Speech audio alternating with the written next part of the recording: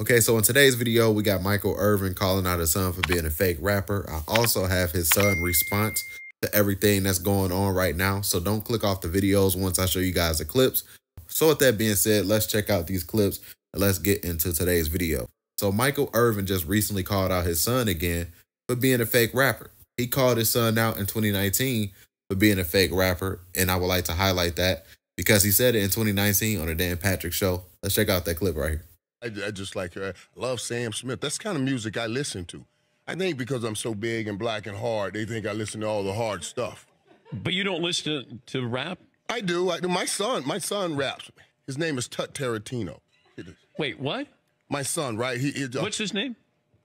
he he raps under Tut Tarantino. His real name is Elijah Irvin. Okay. But listen, get this out. Get this out. I swear, if you go on iTunes and listen to him, he raps about some of the hardest stuff in the world. There's money on me, I think I went to Fargo. Benjamin Franklin, Grant Jackson. These niggas say they get money, they cap it. Living so having way more than the average. say to him, son, you grew up in a 20,000 square foot gated community home. How can you rap this stuff?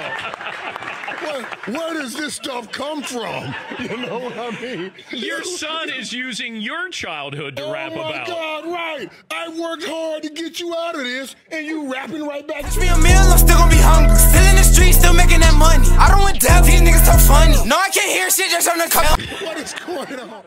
Okay, Michael Irvin made those same remarks on Undisputed. Let's highlight that clip right here. Be sure to hit that like button for me if you haven't already. That helps this YouTube channel continue to grow. And don't forget to hit that subscribe button, hit that notification bell, stay up to date with all of my current YouTube videos. Peace. Son, he, he, he raps. His, his rap name is Tut Tarantino. If you ever listen to some of his raps, I'm like, oh my God, where does this come from, son? You grew up in a gated community your whole life, but he's rapping my life because we romanticize and fantasize about that old thug life, ghetto life, and all of that stuff. Okay, so that's what Michael Irvin had to say. And like I was saying earlier in today's video, I have his son response. But before I highlight his response, I would like to show you guys a few pictures of his son. As you can see, here are some of the images that I found. As you can see his caption right here, he said, I wouldn't be me without my op. But yeah, I don't want to hold you guys too long. This is what Michael Irvin's son said on his Instagram. He just posted a story with some laughing emojis and he put up a chart emoji, clearly indicating that his numbers is going up.